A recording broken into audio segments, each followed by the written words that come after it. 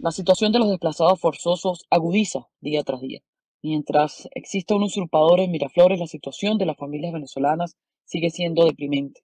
La escasez de alimentos, medicamentos, la escasez de oportunidades obliga a centenares a seguir continuando la salida del territorio venezolano. Con la pandemia del COVID-19, las fronteras del mundo están cerradas. Por lo tanto, obligan a los venezolanos a salir por trapos irregulares, por las conocidas trochas no solamente en la frontera con Colombia, sino en la frontera con Brasil, nuestra frontera marítima con Trinidad y Tobago. Hemos visto cómo las tragedias siguen siendo titulares en el mundo. El pasado 27 de enero, en la zona de frontera entre Arauca y Venezuela, la Marina colombiana volcó canoas de migrantes venezolanos que huyen del territorio. Huyen del territorio buscando comida, buscando alimentos, buscando medicamentos, buscando oportunidades. Pero ya hasta para poder ingresar a Colombia es una odisea. Es por eso que traigo a la Cámara esta situación que agudiza, insisto, no solamente en los pasos fronterizos con nuestro país, sino que se traslada a las fronteras entre Ecuador y Colombia, entre Ecuador y Perú, entre Perú y Chile, y así se repite lamentablemente la violación sistemática de los derechos humanos que no se detiene al cruzar la frontera, sino que se agudiza también lamentablemente. Es por eso que creo que esta Cámara debe hacer todos sus buenos oficios ante el Grupo de Lima, ante los gobiernos aliados de la América Latina, para evitar la violación sistemática de derechos humanos, la trata humana de nuestros adolescentes, de nuestros niños, que están terminando en manos de las mafias del narcotráfico, en manos de las mafias transnacionales, que se aprovechan de la vulnerabilidad de nuestros hermanos paisanos que salen del territorio y que lamentablemente la tragedia sigue agudizando.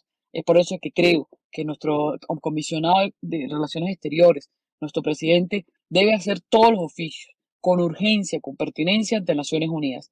ACNUR se debe abocar para velar por la integridad. E insisto, llamar a los gobiernos del Grupo de Lima, a los gobiernos de Colombia, de Ecuador, de Perú, para minimizar los impactos de violación de derechos humanos, para minimizar las militarizaciones de la frontera que solo obligan a los venezolanos a seguir pasando por pasos irregulares.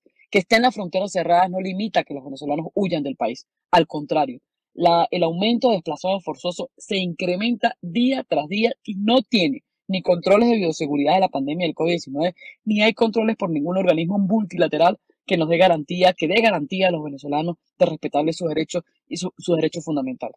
Es por eso que alerto, levanto la voz en esta Cámara y le pido a todos mis colegas parlamentarios que le vemos la voz dentro y fuera del país para que se detengan las violaciones y no se repitan incidentes como el de la Arauca el pasado 27 de enero, ni como en la frontera de Ecuador, Perú, Chile, ni en ninguna frontera donde haya un venezolano desplazado. Insistimos, el venezolano no es un migrante, el venezolano es un refugiado que huye de una guerra asimétrica que tiene Nicolás Maduro eh, oprimido al pueblo y esclavizado. En Venezuela, la crisis de refugiados este 2021 será más grande que la crisis de Siria, donde ha existido un conflicto bélico por décadas. En nuestro país no hay una guerra convencional, pero sí hay un modelo político que obliga al pueblo venezolano a huir de nuestro territorio y hay que reconocer y hacer todos nuestros oficios para que se reconozca el estatus de refugiado a todos los desplazados forzosos venezolanos que hoy están en América Latina.